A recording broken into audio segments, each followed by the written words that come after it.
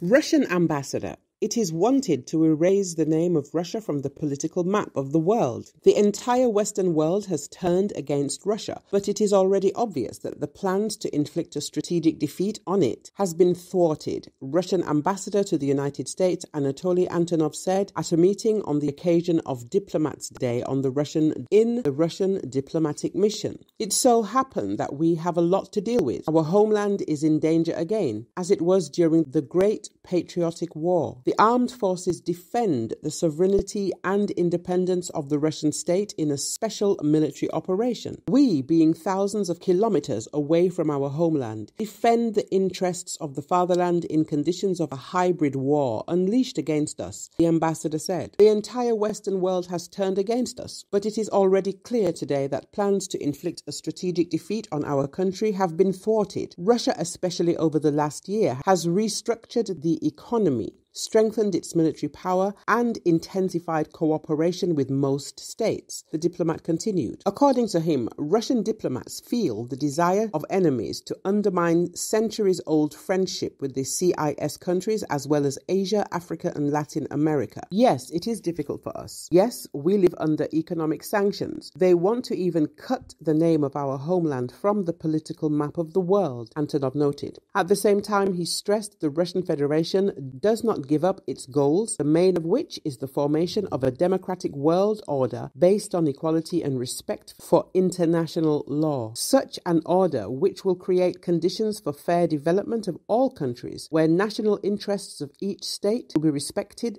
based on the principle of indivisibility of security, the diplomat explained.